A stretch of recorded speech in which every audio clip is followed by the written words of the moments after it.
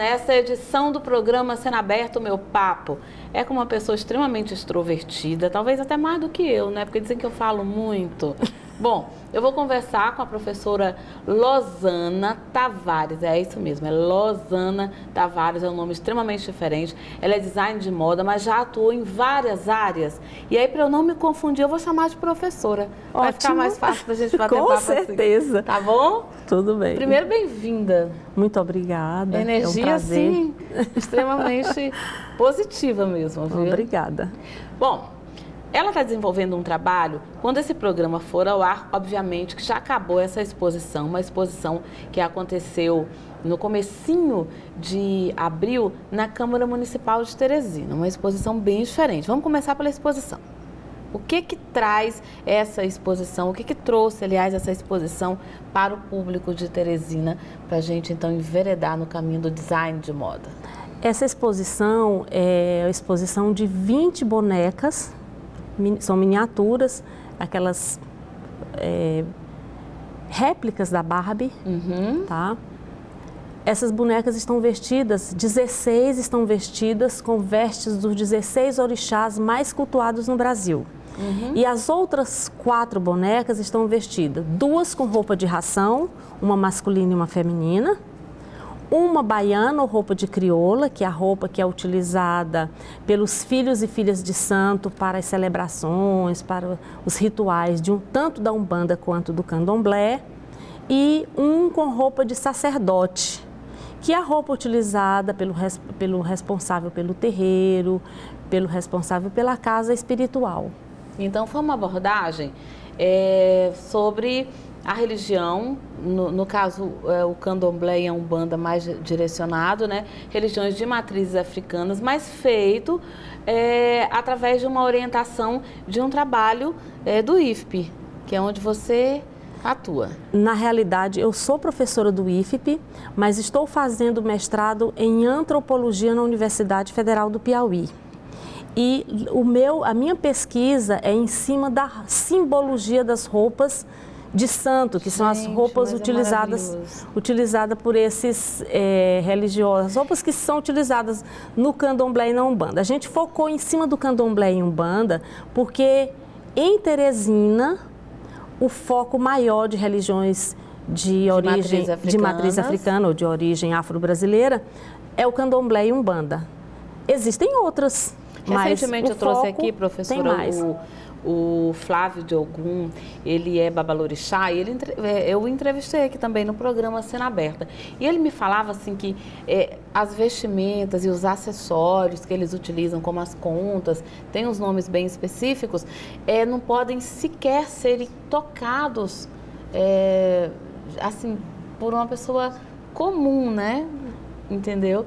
E, e isso é, é, muito próprio da religião deles, é, é, é, muito tradicional e eles respeitam bastante. E daí a dificuldade de quando se fazer um estudo em cima das roupas uhum. de santo, porque cada roupa dessa para aqueles seguidores tem um significado muito grande e essas roupas são sagradas sabe? A forma de guardar, a forma de fazer, a forma. É, e não é qualquer pessoa que pode usar uma determinada roupa, você tem que usar a roupa adequada, tá certo? Cada orixá, cada filha de santo, ela só utiliza uma conta ou uma roupa é de acordo com, com, com o, grau, com o grau dela, toda né? a estrutura lá dentro da Umbanda e do Candomblé. Então, fazer essas bonecas também foi um processo de aprendizagem. Tá certo? É uma, uma forma de aprender, de, de, de entender Foram, o significado é, dessas na roupas. Na verdade, assim, foi quanto tempo de pesquisa para desenvolver esse trabalho? Olha, eu, já, eu estou já um ano, fazendo quase um ano e meio dentro da universidade.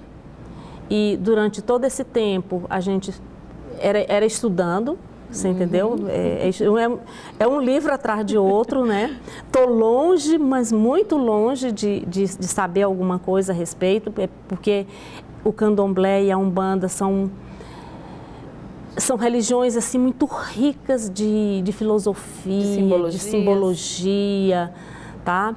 Eu tive o apoio e, e, ali incessante da minha orientadora, que é uma pessoa extremamente estudiosa. Então, para estudar algo nesse sentido, e eu não falo só das religiões de matrizes africanas, porque eu sei que há um vasto campo de estudo, inclusive é, que você e, e, e, de repente as outras pessoas que fazem parte do seu convívio é, têm buscado. Então existe um vasto campo de estudo em outras áreas, em, outras, em outros temas também. Mas para é, é, abordar temas dessa semelhança, é preciso se despir de determinados preconceitos. Exatamente, com certeza.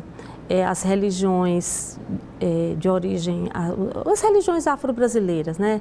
Elas são muito satanizadas. É, você tem, as pessoas têm medo, você entendeu? É, o, leigo tem medo, tem medo de ir num terreiro, tem medo de tudo, quando não tem nada demais. Eu tô é das mais, eu não sou, não sou religiosa, tá? Eu não, não sou de religião africana. É, o que foi bom para mim por Mas um você ponto. Você está encantada com a cultura? Eu estou encantada com a cultura, com a riqueza dessas religiões. Entendi. Certo? Eu estou assim. Tá, agora, agora nós vamos conversar mais sobre, sobre essa exposição, que inclusive chamou bastante atenção, até porque as bonecas encantam, encantam e elas ficaram realmente lindas, lindas, lindas. A gente vai estar tá, tá podendo mostrar algumas imagens aqui. Agora, você não começou nessa área. Não. Come... Gente, eu fui ler seu currículo, eu fiquei, meu Deus, eu ainda não tinha é, é, me deparado com o currículo, não, não é tão extenso, é bastante extenso, mas eu digo um currículo é tão diverso. A pessoa começa na matemática, hoje está é, mestranda em antropologia, antropologia, e arqueologia também, não é isso? Não, não, não é tem? antropologia. Antropologia. Pronto. É porque o, o curso era antropologia e arqueologia, e arqueologia, mas ele foi desmembrado. Aí foi desmembrado. Quer dizer, é, design de moda, enfim, é bastante coisa e, e, e, muito diferente. Eu, a, a, a, priori, eu penso que não, não teria nada a ver com matemática, mas você já, já me desmontou, já disse que tem. Olha, eu sempre atuei na área, assim, dentro do design, eu gosto de trabalhar duas coisas, que é a construção do vestuário uhum. e a construção passa pela modelagem. Modelagem é a matemática pura. Entendi. Então, eu adoro modelar uma roupa, eu adoro ver um corpo, ver onde tem as qualidades daquele corpo e os defeitos daquele corpo e tentar esconder os defeitos e sobressair as qualidades. Então, isso, a matemática, o que, é o corpo da gente? É um corpo sólido, é um.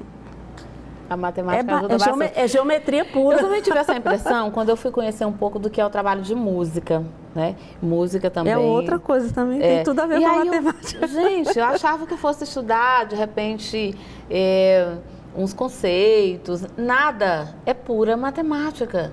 O raciocínio né? Tem, tem que ter aquela brincadeira do raciocínio lógico, porque senão não vai para frente. Com né? certeza. É, eu sempre falava para meus alunos, eu dei aula durante 25 anos, fui professora de matemática durante 25 anos lá no Distrito Federal.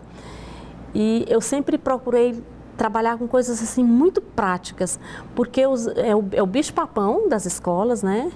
é a matemática. Eu não, eu não, sei como eu passei e por elas... logaritmo, eu não sei. Eu não... E é sempre é, é, uma lógica, e a vida da gente é uma lógica. Então, matemática é vida também, tá? O que é mais complicado na matemática, partindo para o seu lado é, professor, aquilo que era dificultoso realmente é, de passar para os alunos, que eles não aprendiam de jeito nenhum?